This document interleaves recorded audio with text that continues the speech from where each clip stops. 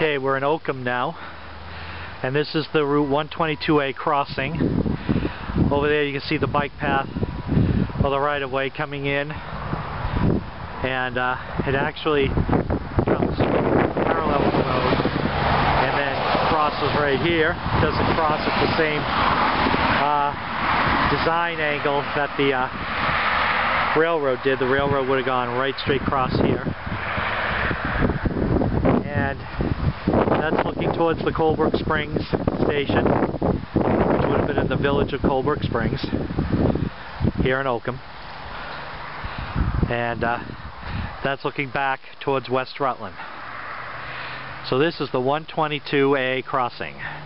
Uh, let's see what other little features they got here. Okay, we're here at Coldbrook Springs. Now John's going to read this historical plaque to you. On December 12th, 1887, the first train traveled to Coldbrook Springs on the newly completed Central Massachusetts branch of the Boston and Maine Railroad. Each day, Monday through Saturday, for the next 25 years, trains made four round trips between Boston and Northampton, with one train operating on Sundays. For several years, the U.S. Mail Service used this depot as the drop-off point for mail going to both Coldbrook and Oakham Center. The building to the far left, with an attached loading dock, was used for storage. The large tank to the right of the depot provided the water necessary to generate the steam that powered the locomotives. With two large hotels and the famous Mineral Springs close by, the station did a bustling passenger business for many years. One of the most famous commuters was Calvin Coolidge, who regularly traveled through Coldbrook Springs from his home in Northampton to his governor's office in Boston. In 1926, after the state took control of the Ware River watershed, the station was forced to close. Coldbrook Springs Station. As you heard John narrating from the historical plaque. Trains ran through here for 25 years until the hurricane of 38 abandoned the line. Sad. But at least the rail trail's here to preserve the right-of-way.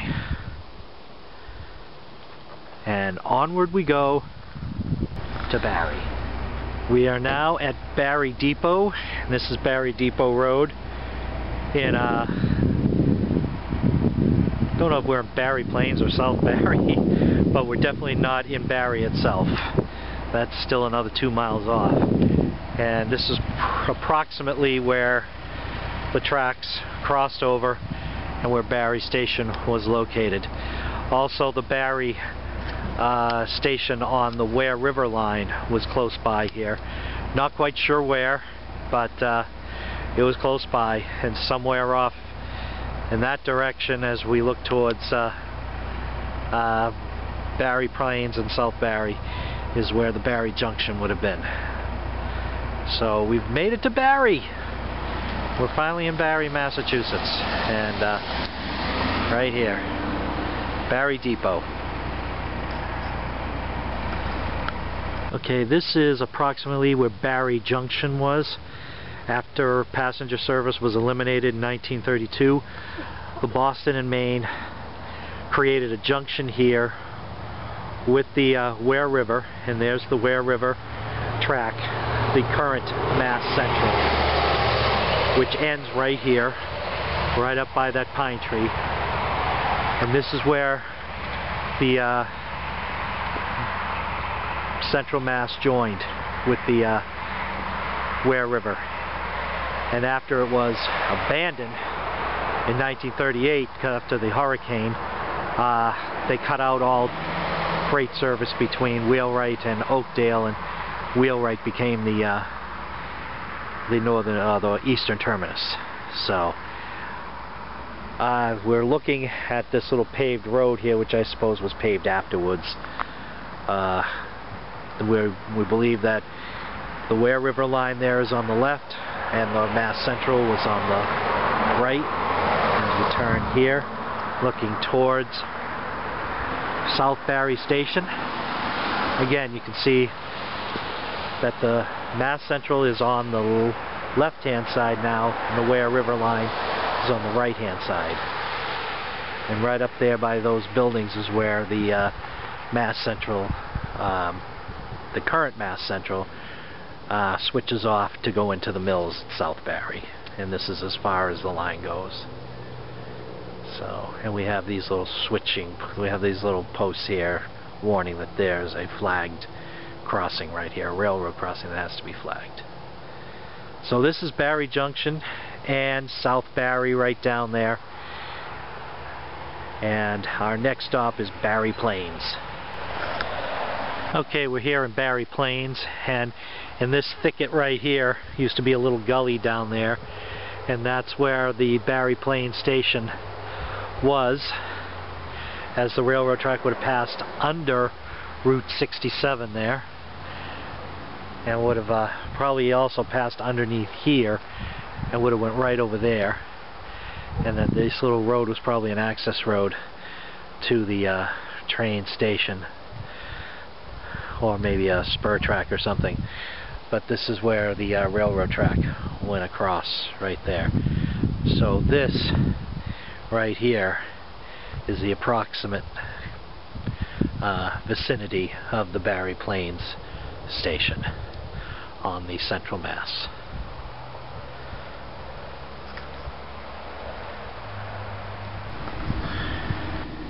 Still here in the town of Barre, just outside Barre Plains, and this is the right-of-way coming through a gravel pit area. And there's the right-of-way looking back towards the Barre Plains station. And then if I uh, pan around to the other way there we go. As you see it heading out towards Wheelwright and the airport that way. So uh, this is the Central Mass right through Barre heading towards Wheelwright we are at the Tanner Hiller Airport in the small town of New Braintree, Massachusetts.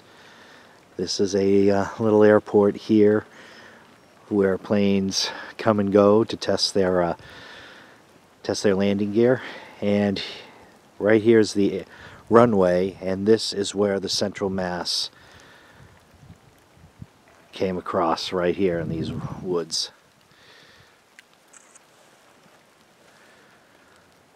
And so that's looking back towards Barre Plains where we uh, were before. And uh, then the tracks came right through here and they built this airport right on top of the old right-of-way. So if the trains were still running here, I, I don't know if they would actually have an airport here or if they did they'd probably have a little station for, for the airport. So, But this is uh, the airport in New Braintree and this is uh, This is where the Central Mass Railroad came right through. And over there is a bridge that took you over into Wheelwright to the uh, mills and through the little village of Wheelwright, and that will be our next stop.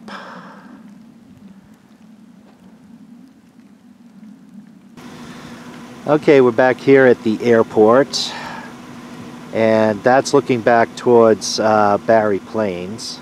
If the zoom would come out right. You see there's the right-of-way for the central mass coming in and as you see uh, the tracks would have came right on to the runway of this airport which was put in after the line was abandoned and that's looking back towards Wheelwright and so it's getting a little foggy today and as you see today the day we choose to film here it's got a little snow showers going. Today is the first day of winter. So um, again, from the Tanner Airport here in New Braintree, we are on the tarmac which is on top of the right-of-way of the old Central Mass and we're looking towards Wheelwright.